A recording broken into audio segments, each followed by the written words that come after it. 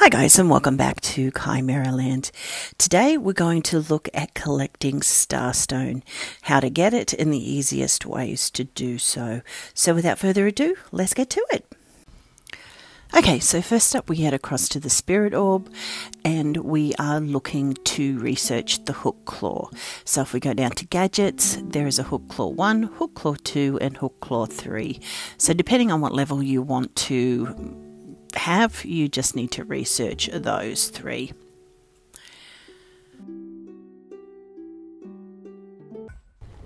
Now, once you've researched the hook claw, all we need to do is head across to our workbench, go into tools, and we can craft the grapple hook.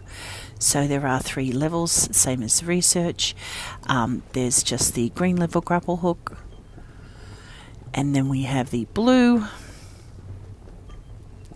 and then we also have a purple level grapple hook and it's just a matter of doing the research and then you can just craft them at the workbench. So once we have the grapple hook ready to go, what we can do is we'll head up to space.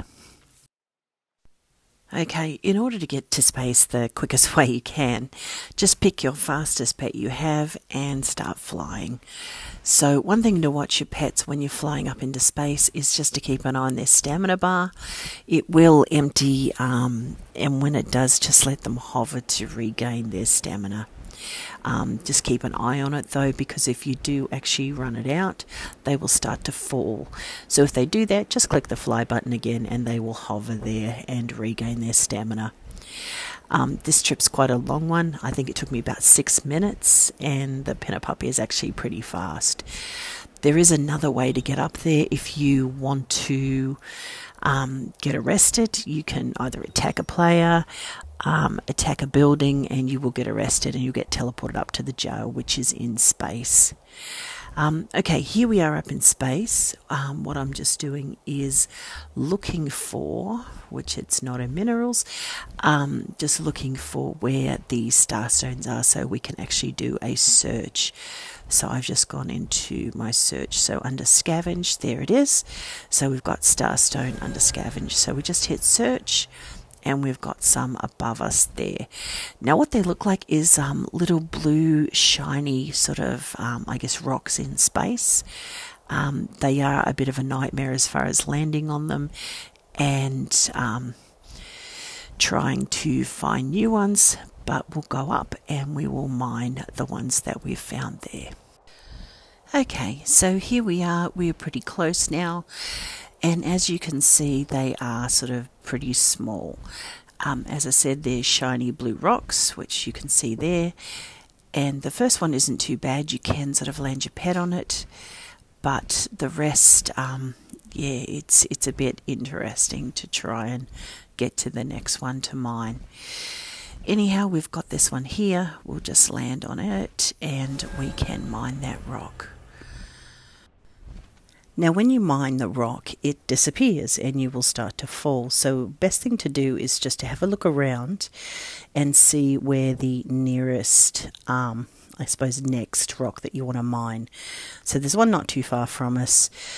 So, face that direction. Um, equip your grapple so you won't fall and won't have to worry about trying to equip it because as soon as you mine this rock as I said um, it'll disappear and you'll start to fall um, you generally can't remount your pets once you're out there, so all you can do is use the grapple to get around.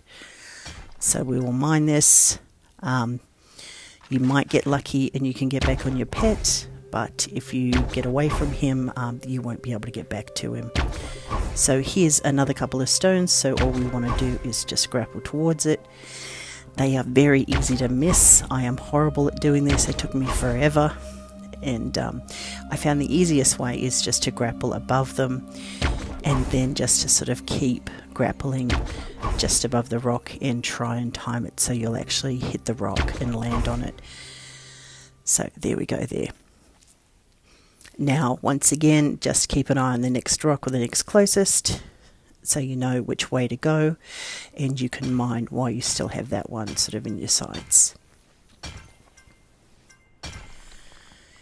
Now, unfortunately, with these, as you saw there, there is no guarantee you'll actually get star stones from these.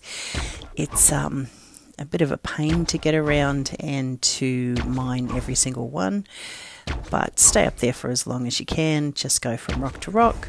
The grapple is really good. It will sort of pull you up, down, across, wherever you need to go.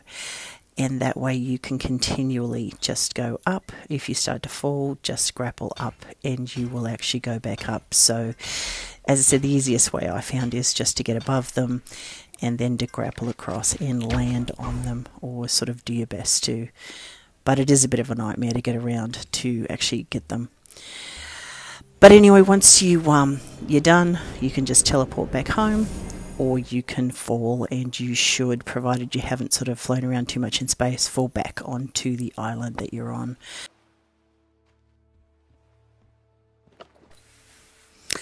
Okay, so we'll just have a look. I got a huge haul of three, and I was up there for about 20 minutes. So um, yeah, they they do take a bit to mine, and you're not guaranteed to get one when you do mine. Um, if you are a glutton for punishment, you can always go up and mine and sell them at the auction house. They are a premium item, so you will get the premium currency for them. Um, and you do need them to craft a few things. Anyhow, that's it for today, guys. Thanks for watching, and we'll see you next time.